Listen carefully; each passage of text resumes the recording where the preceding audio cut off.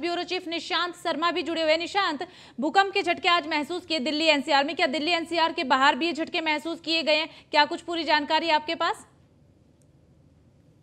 भूकंप के झटके दो बजकर तड़ेपन मिनट पर तेज़ी से इसके साथ महसूस किए जाते हैं और कहीं ना कहीं जो झटके हैं दिल्ली एनसीआर नोएडा गाजियाबाद समेत उत्तराखंड में भी ये झटके महसूस किए गए हैं। हालाँकि जो देखा जा रहा है कि नेपाल से भूकंप के झटके का जो केंद्र है वो कहीं ना कहीं देखा जा रहा है जिसमें 6.2 तीव्रता इसकी अब तक देखी जा रही है और कहीं ना कहीं बड़ी तेज़ी के साथ जो भूकंप के झटके महसूस किए जाते हैं और कहीं ना कहीं जिस तरीके से देखा जाए कि काफ़ी दिनों के बाद इस तरीके के जो भूकंप है वो देखने को मिला है और दिल्ली एनसीआर समेत उत्तराखंड के इलाके में तमाम इलाकों में कहीं ना कहीं भूकंप के झटके देखे जा रहे हैं। हालाँकि अचानक से जब जो लोग बैठे हैं लोग बैठने के बाद आश्चर्य में रह जाते हैं जब भूकंप के झटके आते हैं और कहीं ना कहीं जिस तरीके से देखा जा रहा है कि तमाम जो लोग हैं वो कहीं ना कहीं सहमे रह रह गए हैं क्योंकि हालाँकि इतने जो तेज़ी तीव्रता देखी जा रही है क्योंकि एक बड़ा हादसा हो सकता था बड़ी कहीं ना कहीं किसी प्रकार की इस तरीके की घटना हो सकती थी और कहीं ना कहीं दिल्ली एनसीआर समेत उत्तराखंड में इलाके में देखे जा रहे हैं। हालाँकि हमारे साथ जो है ब्रजेश श्रीवास्तव एसोसिएट एडिटर हैं। सर किस तरीके से देखे जा रहे हैं भूकंप झटके।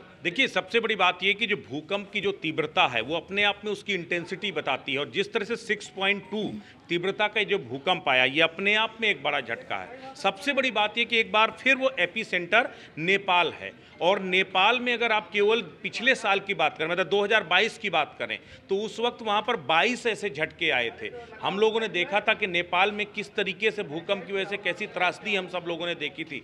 भुज की त्रासदी भी कोई भूला नहीं है। यही वजह है कि जैसे ये झटके सामने आए, जिस तरीके से भूकंप का अचानक झटका लगा तो सारे लोग अपने अपने ऑफ़िस से, अपने अपने घरों से बाहर निकल के, खास करके जो हाई राइज बिल्डिंग्स हैं, क्योंकि दिल्ली और एनसीआर पूरा हाई राइज इलाका है और यहाँ पर जिस तरह से अफरा तफरी मच गई, उसके पीछे की वजह वही है, क्योंकि 6.2 तीव्रता का जो भूकंप है, वो अपने आप में उसकी इंटेंसिटी बहुत ज़्यादा है और एक बड़ा खतरा है। बार बार दिल्ली और एनसीआर के आसपास के इलाके में जिस तरीके से भूकंप आ रहे हैं, वो किसी बड़े खतरे का संकेत दे रहे हैं। अगर आप इसको समझने की कोशिश कीजिए कि जो हिमालयन प्लेट है और यूरे जो एशियन प्लेट है, ये लगातार, खास करके नेपाल, वो पूरा सेंसिटिव जोन बन चुका है।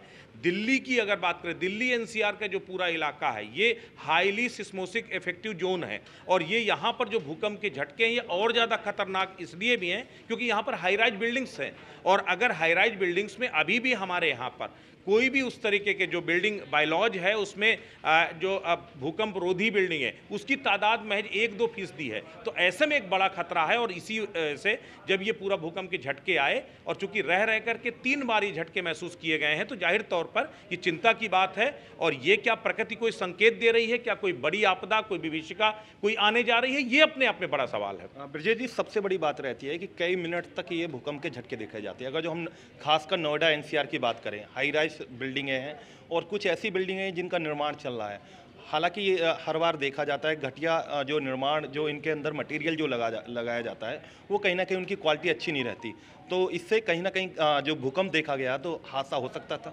बिल्कुल देखिए, सबसे बड़ी बात है, जो जियो साइंटिस्ट हैं, जो सिस्मोसिक इसको जो इसको कवर करते हैं या फिर उन्हें एनालाइज करते हैं, वो लगातार ये कह रहे हैं कि पृथ्वी के अंदर जो असंतुलन बढ़ रहा है, खास करके जो कंक्रीट के जंगल खड़े हो रहे हैं, ये अपने आप में इस तरह के बड़े बड़े भूकंप को दावत दे रहे हैं। ज़मीन के अंदर की जो गतिविधियाँ, अगर आपने अभी देखा होगा, जोशीमठ के अंदर क्या हुआ? जोशीमठ के अंदर जिस तरीके से जोशीमठ कई हिस्सों में बटा, दरारें आई, दरारों के साथ वहाँ पर पानी और सैलाब बाहर निकला जो है, वो क्या इंडिकेशन यानी पृथ्वी के अंदर उथल पुथल चल रही है। प्लेटों के जो खिसकने का जो सिलसिला है, वो लगातार चल रहा है। और ये अपने आप में एक बेहद ही संवेदनशील है।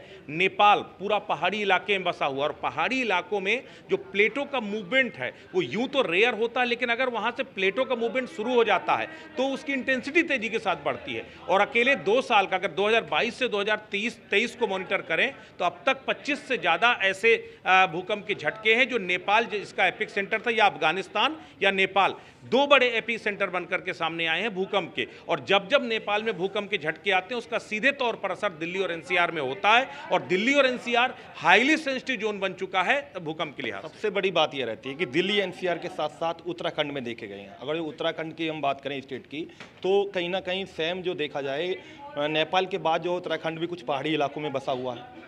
देखिए निशांत जिस तरीके से उत्तराखंड में कई जगह से प्रलय आई जोशीमठ का हादसा, इससे पहले हम लोगों ने देखा।